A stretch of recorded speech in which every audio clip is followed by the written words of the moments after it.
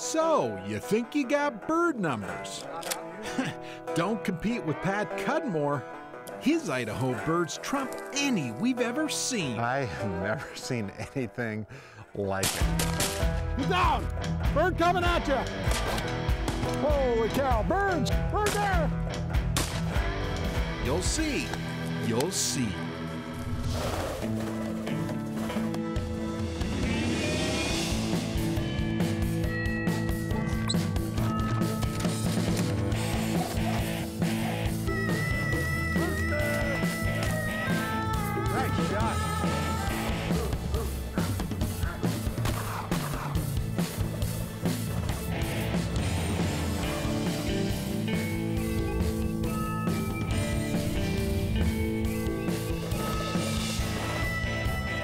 The Flush, presented by Federal Premium Ammunition and Pheasants Forever.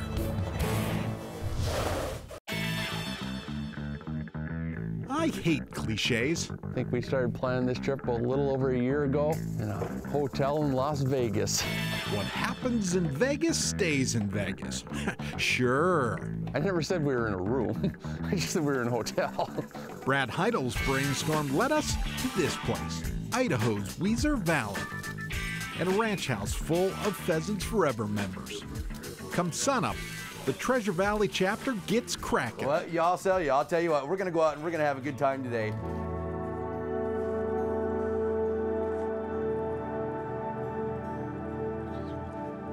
I'm not exactly sure how this hunt's going to go because if we're all hunting together, it's going to be like 15 or 20 people. Kind of curious to see how this works out. Come mid December, Idaho bird hunters chase roosters. Hunters will find wild ringneck pheasants throughout Idaho, but the southern half of the state holds the best populations. This is a private ranch. Um, the Pheasants Forever guys hunt a lot. Uh, I can't tell you who owns it, but I can give you a hint of who it is. You get one guess.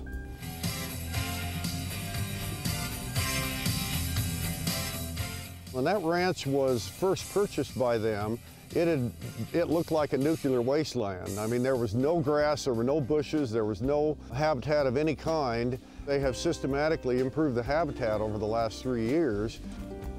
Today, we hope to corner at least a couple wild roosters. Look around.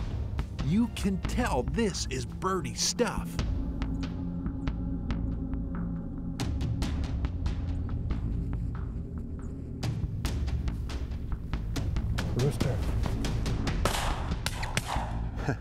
We sneak up to that first area, and right away I can see bird, bird, bird, bird, bird. There are literally dozens of wild roosters sneaking out the end past us. God, I hate to ask the auctioneer who got the first bird. Yeah, no kidding. You think he'll talk at all? You know, I, I'd tell you, I'd tell you that I shot it clean and fair, but I don't think I did. I there was two shots simultaneously, and the bird dropped at the same, Same time. time. So I got to share. I got to share it with Camille. She had a good shot on that bird as well. Beautiful. Beautiful animal. Beautiful. Absolutely gorgeous. Wild Idaho rooster. Yeah, native birds. You know, it actually turned out to be a pretty fun morning because guys are shooting over here and guys are shooting over there. It's not like it's just one pile of birds, but it's one rooster here, one there. He's over water. I let him go.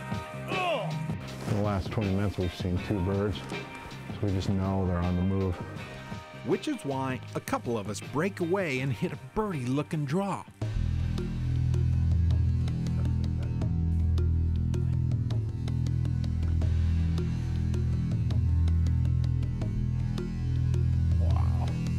Up, up and away. There they go.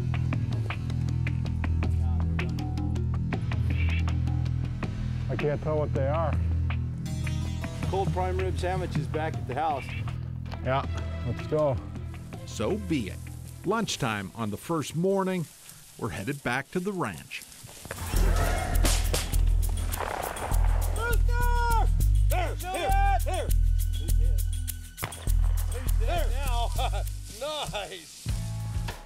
Worked hard for that bird. Yeah, got him right by the ranch here. That's Pat. Pat and I have uh, known each other and been hunting with each other for about 15 years.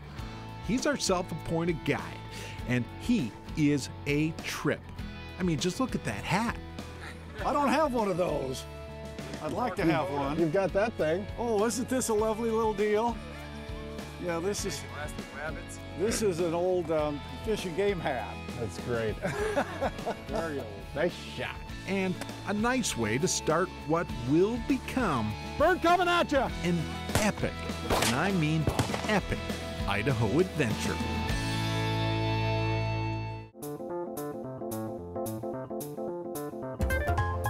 Okay, we ain't exactly smart. I'm just saying. What's his number? Mobile network not 403? available. Oh, who goes hunting and forgets the dogs? Us. An idiot, a 66 year old idiot. Well, now I'm not afraid to miss anymore. Can't make fun of me.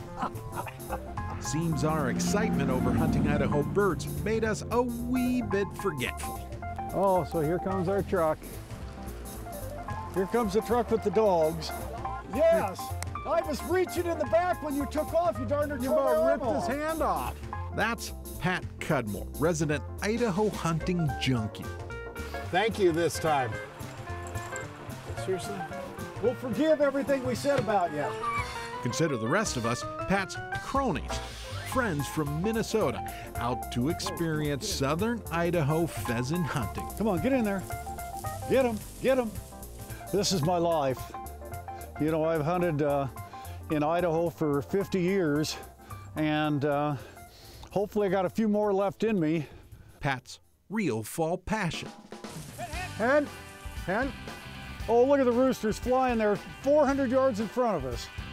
Rooster. Watch him. Oh, great. Shoot him. God, I massacred him, and then you got him too, Joe. Come on, bring it here. Thank you. Good thing we've got Katie. She's a German short haired pointer, just 11 months old, but already a NAVHDA puppy winner. You can spend a lot of money on a dog and there is no guarantee until you take them out and start hunting with them. Katie is a gold mine. and We've got three hours to hunt her until dark. So the five of us break off, and we get this crazy hair and say, you know what? We're going up to the top of the mountain. Pat calls mountain hunting the ultimate armed nature hike. yep, we're hunting wild chukars. We head up the Weiser Valley in search of chukar partridge, birds long ago introduced from Asia. Chukars now live in North America's most treacherous places, almost exclusively in Rocky Mountain terrain. Buckwheat, these are about three times faster than a pheasant. It's a little tricky, eh? Oh, I love it. I'd rather chukar hunt than anything. The best way in the world to get in shape. That poor man, he's like the six million dollar man. I think he's got new hips, new new feet, new ankles, new knees, new thumbs. Seriously, he has all those new parts. And Pat still hunts. You don't see a lot of chukar hunts on TV. Because this is how they are. Like a lot of hunting, you sometimes wonder, what am I doing here? I'm starting to get wiped out. We're not seeing much sign. And all of a sudden, Pat says, Get up here. Katie, Katie, come here, come here. Find the bird. So we gotta be close. You know, when the birds start flying, it's totally worth it. So they go. Chukars, there goes a single. I can see the trail, and I'm following what I think could be fresh tracks, and then all of a sudden,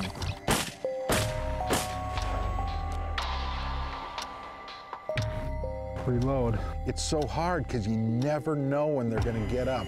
That they can run uphill at 100 miles an hour and then just as you get up there and you're slipping on a rock or you're really breathing hard, then they take off and go downhill again. Look at that, one, two, three, four. which might be why Joe Dugan wanders off to the next hillside. And then Dugan's all the way across the valley and he's popping shots. Man, they're shooting all around us. And to think that this is all over Idaho and there really aren't that many people hunting these birds. Really, really an untapped resource. So just like that, we had four birds in hand, and in my book, that's a pretty good chukar hunt for an afternoon. These are both females. You know, on a male, there'll be a big bump there. So, uh, but that was a female for sure, because feel how smooth her legs are. I think you're getting excited. Tonight, rest up. Because tomorrow, Cudmore's got a trick up his sleeve. Well, right at you! He's down! Crazy Idaho quail.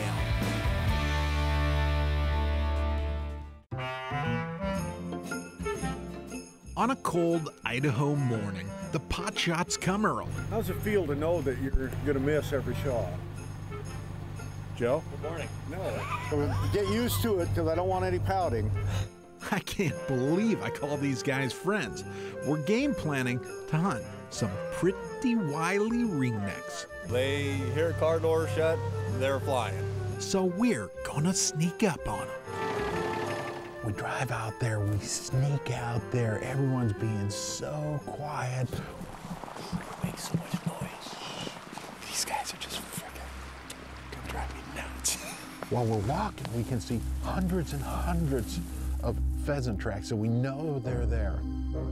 We see Keith, the ranch hand, pull up, hop out of the truck with the dog, head into the end of the row, and all of a sudden the birds explode. Rooster.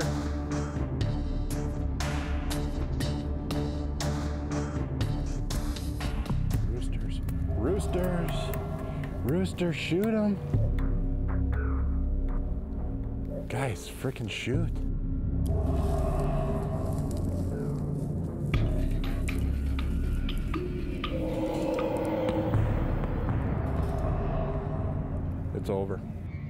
I mean, even if you're quiet, they, uh, it seems like they have radar and they don't come by you.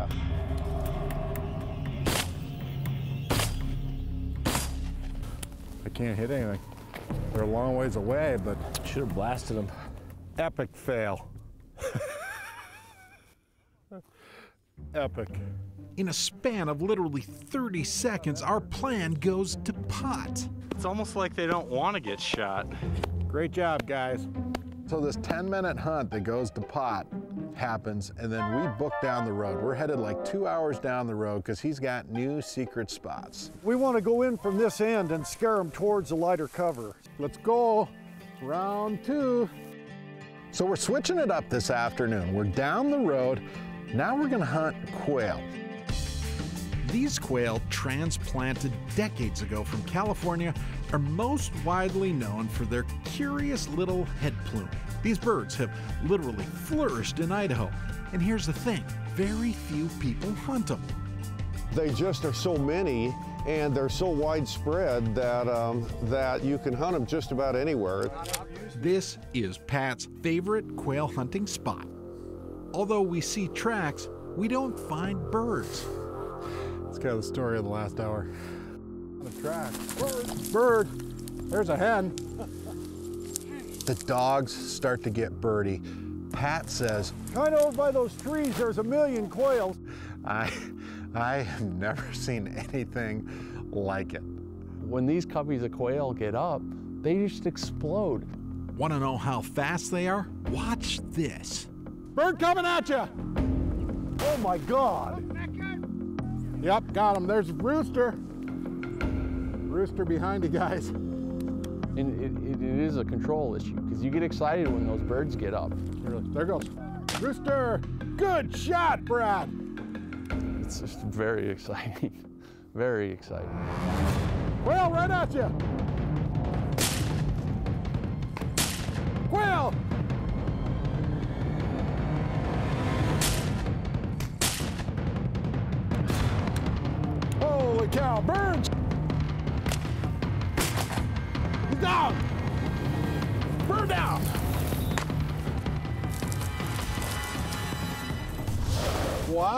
That was quite the barrage.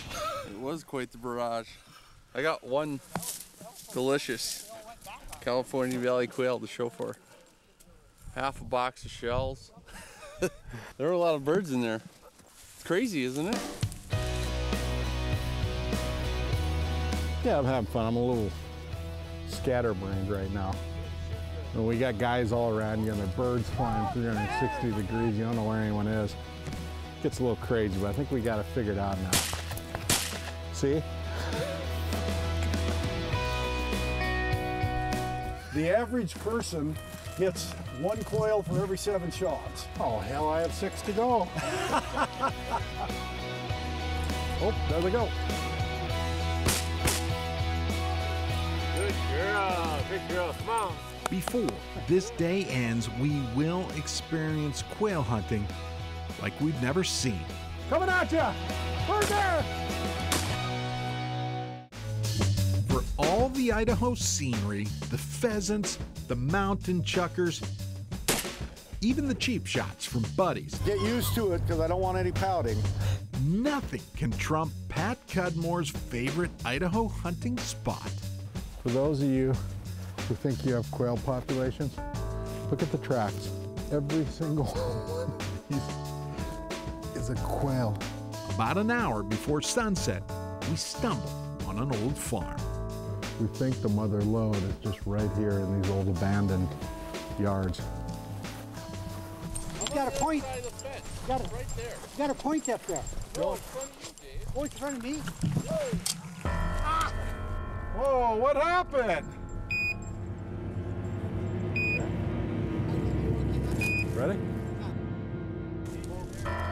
Yep.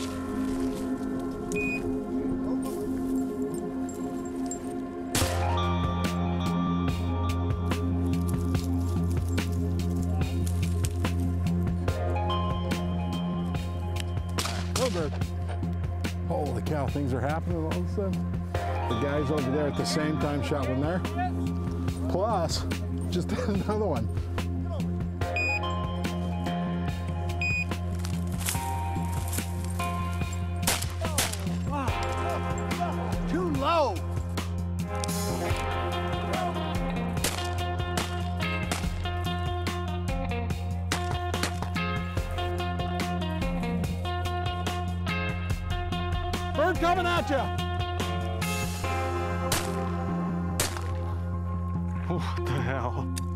That was entertaining. Get your gun ready, Pat. There it goes, Brad.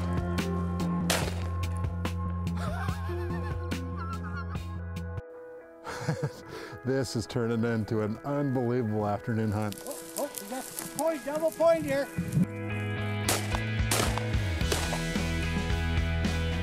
Well done. Guys, stop this. Knock it off. There's another point right here. I hear it. Good shot. Another one. Stop! Stop! Just stop flying. All uh, right, this one here. And that one, bring that down! Stop! Stop! These little rascals, unbelievable. Who knows how many are in front of us? The dogs seem to know. And David Klonigers is a gem. Dharma is a Deutsch Drahthaar. Age four and a half years old, this dog has a strong level of trust. Believe me, this dog finds birds and has few false points. She's a hot. She's really good. She is uh, one of the better ones I've had. So much fun. Just being out here is the best.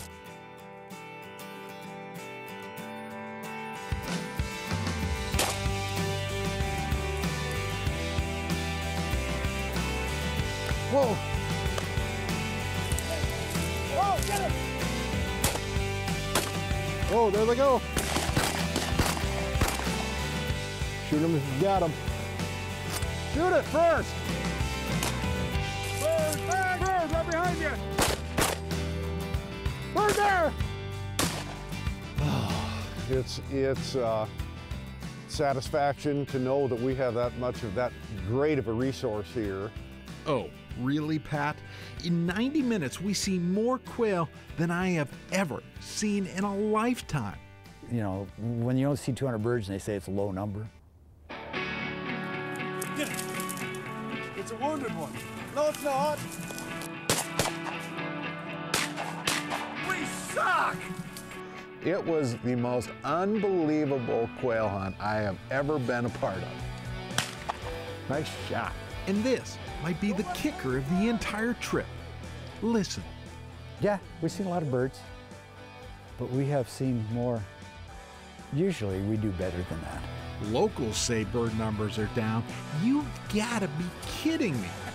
So, the Idaho secret is out. Surely there's another. You like bird numbers? Get to Idaho now.